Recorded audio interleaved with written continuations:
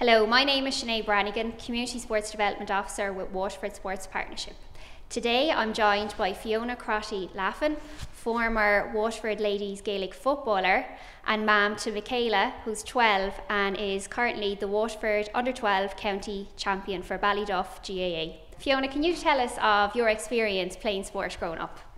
Okay, I suppose I had a very, I suppose, a great experience playing sport. Um, as a child. I started playing when I was about seven or eight. I started playing football, but um, I come from a place called Ballymacarbery in West Waterford, and uh, we had a really good community game structure up there. Um, and my own mum was involved in the um, in the committee. Um, so we had a variety of sports, athletics, gymnastics um, and Gaelic football that were involved in, in the community games. Um, my own sister coached me at that early age and uh, um, I suppose we started, our success started at community games level uh, when we won two All Ireland finals. Um, so yeah, and it just took off from there. Then I got involved uh, with the county at under 16 and minor and senior level, and uh, I suppose I was lucky in a sense to come from a very successful club. So I have some great memories and great experiences of, of sport growing up. Brilliant. And can I ask you, what kept you playing sport? What kept you going down the field? Um, well, I suppose initially my sister, my sister's a, phenomenal ladies footballer, and um, she would have been playing junior for Waterford at the time when she was coaching me. Um, and back in '86, Waterford were in the All Ireland final, and um, she made a little piece of history. It was the first time that ladies football was actually played in Croke Park and uh, she opened the scoreline. She scored a goal, or a point actually. So she was the first lady to ever score in Croke Park, which was, was amazing. Um, so, and then I suppose I, at a, at a very young age, would have been going to all her games.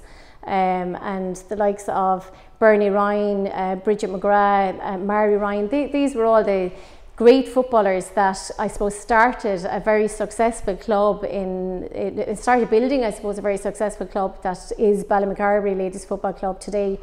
Um, so from watching them and seeing the successes that they were having and you know just the friendships that they were building and the buzz after the games and all that you just want to be part of it um, and as they say I suppose success breeds success. So there was a right gang of us that would go down to training every Saturday morning at, from a very young age. And then um, as you got older you were kind of trained three or four nights a week. So we were nearly spending more time with the girls than we were with our own families. And we, we, we became great friends. We became like a family unit you know?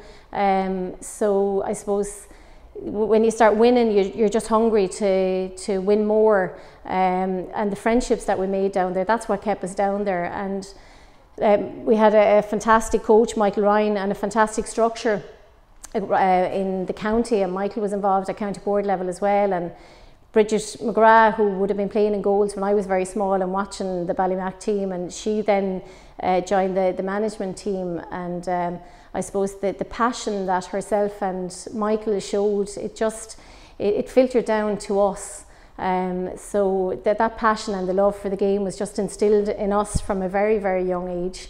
Um, yeah, so that's why. So all those names that you mentioned, they're all your role models, you could say. Absolutely, absolutely. When you're a little eight or nine year old girl and you're standing up in the stand in Croke Park and you're watching those girls playing in Croke Park, um, making history, it's, it's, it's amazing and you just want to be out there. You want to do that. So you want to play for your county, you want to play for in Croke Park and that's what keeps you going. And now Michaela is playing ladies Gaelic football. And do you think having a role model for being one of them yourself is really good for Michaela? Oh, 100%. Look, I mean, as, as the hashtag says, if you can't see it, you can't be it. Um, like Michaela has seen me play football because even after when I, when I retired from, from county and club, I went back playing um, the Gaelic for Mothers in Dunhill. And uh, I suppose when I came back down to when I started moved into this side of the county and there was no ladies football club here and the club approached me and asked me would I help setting up one. Uh, Michaela was only two at the time, but you know having a little girl, I suppose I kind of wanted her to experience what I had experienced. Um, so it was an easy, uh, it was very quick. Yes, I will. I will help to set up the club, and it's grown from strength to strength and you know, I can see the benefits that she's reaping from it. Her confidence has built. um, through sport and she excels in the pitch and it's probably where she's happiest, you know. Um, and I can just see her grow and grow every day through sport. It's amazing. And can you see that transfer into our day to day life? Like Michaela's 12, so Michaela's in school. So, what kind of values from playing sport on the field outside there does Michaela bring into school then? Well, I suppose um, what she's getting from it is is uh, teams. It's a team sport, you know. So um, it's, it, I suppose the consideration for other people.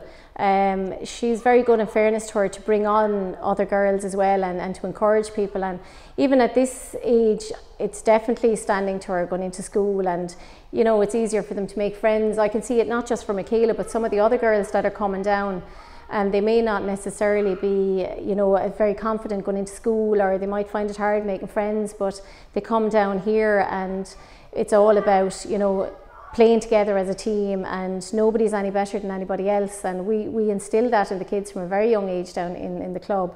Um, but I think not only is it, is it benefiting her now, but it'll certainly always benefit her, you know, going forward. Would you have any, um, not tips, but kind of ways that parents can really encourage the girls to get out and be active? You know, there's times when it is hard to get the teens out of the bedroom and outside, or even inside to do some class maybe. How, yeah. From your experience, what would you say? Um, well, I suppose we it, it it's important uh, for parents, I suppose, to take uh, a very active and a supportive role. Um, to instill in the girls particularly as well that it's okay to prioritise physical activity and, and not feel guilty about it.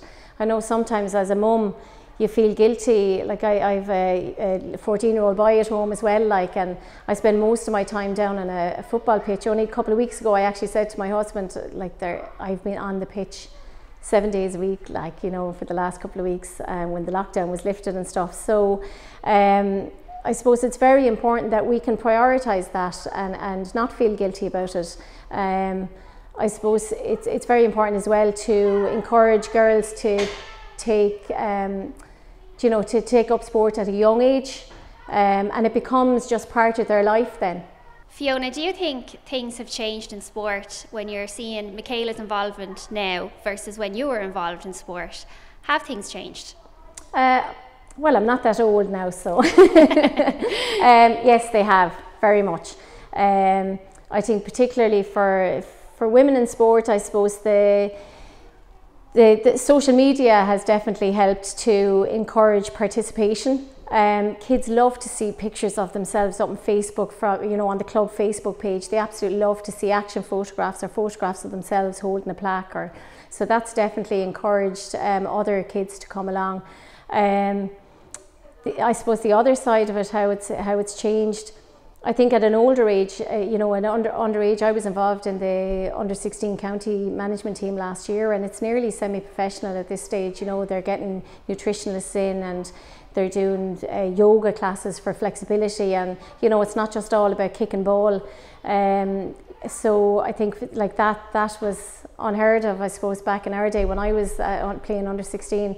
Um, and I suppose looking back, I, I, do remember at under 14 going off to Mosney and the, maybe a week before we went to Mosney, we, we, we um, had fundraised and we had bought these shell tracksuits and we were the bomb going off in these shiny tracksuits, you know. Um, and but like I suppose from a club level, like we had very little, we didn't have any gear like apart from our jerseys and our socks, and we bought we bought the socks and shorts ourselves, like we got the jerseys, but you know, nowadays they have everything from headbands to beanie hats to to um, the half zips, everything. You know, they're all kitted out, and which is fantastic because there's a real sense of.